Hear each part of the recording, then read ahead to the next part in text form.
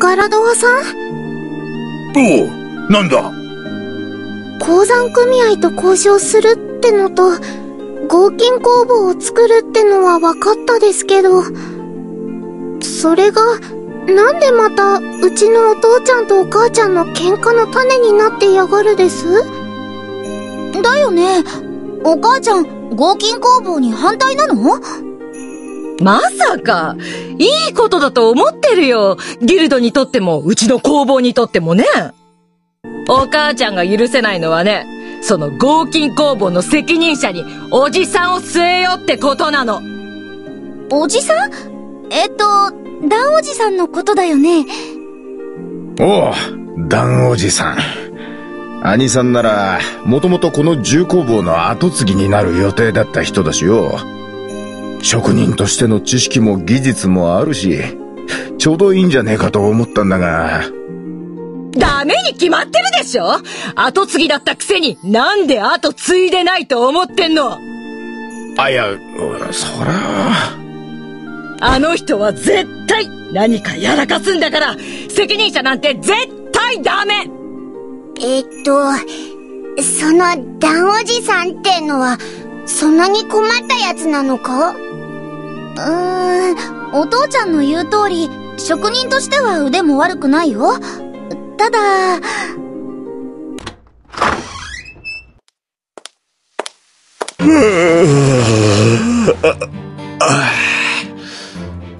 あ、なんだ？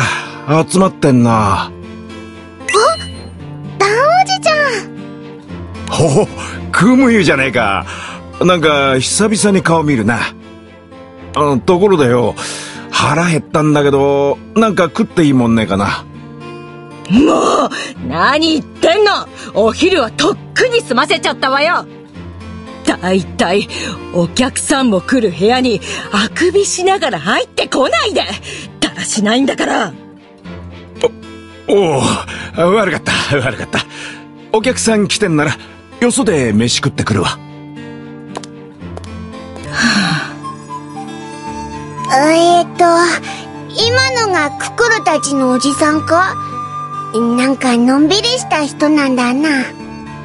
気を使わなくていいんだよ B さんあの人はねのんびりしてるんじゃなくいい加減なのあ、で、でも、ダンおじちゃんは優しい人ですよ。ちょっとだらしないけど。あのねクムユそこさえなければいい人ってのはそれがあるから悪い人ってことなの。あの人を責任者にして何かやらかしたら妹として私はみんなに顔向けできないよ。それこそ責任を取ってこの工房から出ていかないと。おかみさん落ち着いて。ダンおじさんが失敗すると決まったわけではないのだから。いやあの人は絶対何かやらかすよそうに決まってるそう決めつけないでくれよ。兄さんだって職人として長いんだ。責任のある仕事を任せてやりてえよ。あんたはそう言うけど待って、待ってお母ちゃん。あのさ、今思いついたんだけど、一旦ダンおじさんに合金工房を任せて、私がそのお目付け役として、そばで見張るってのはどうかな？おじさんがちゃんと仕事をしてくれるかどうか、私が見極めるよ。何言ってんのククルあんたは今団長さんの気空団の一員なんだよ。団員として団長さんの旅のお手伝いをしっかりやんなきゃ。お母ちゃんあんたを仕事を途中で放り出すような子に育てた覚えはないからね。それは、そんじゃよ。ギルドで団長たちを雇うってのはどうだ？そしたらククルは団員の仕事もお目付け役もやれるんじゃねえか？もともとギルドとしちゃ合金工房に護衛をつけにゃならんとは思ってたんだ。でもよずっと居つける護衛を探すのはちょいと時間がかかる。それまでの間ってことでよ。それは。そりゃ団長さんたちが護衛についてくれるなら安心だけど。どうだ団長？雇い主はギルドってことになるからよ。支払いは心配しねえでくれ。うーん。それでククルたちの助けになるってんなら断る理由はねえよな。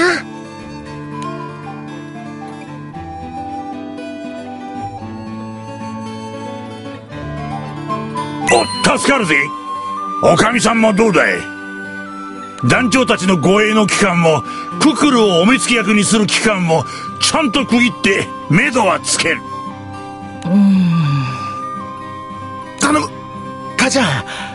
俺は工房に入ったばっかりの頃兄さんにはそりゃ世話になった。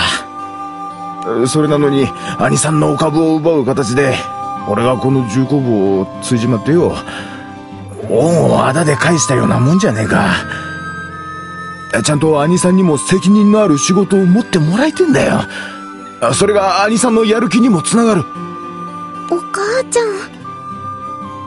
クムユもダンおじちゃんのことを信じてえです。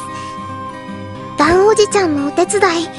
クムユもククル姉ちゃんと一緒に頑張るですからわかったよ。今回だけ。ね。ありがとうお母ちゃん。私がダンおじさんのことしっかり見張るからね。本当に頼んだよククル団長さんも巻き込む形になってごめんなさいね。気にしないでくださいおかみさん。私たちも護衛頑張りますね。ね